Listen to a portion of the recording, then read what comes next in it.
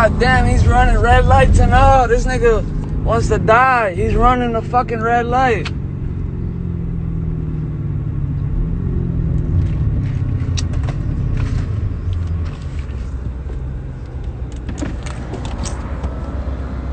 The fuck you want, bro?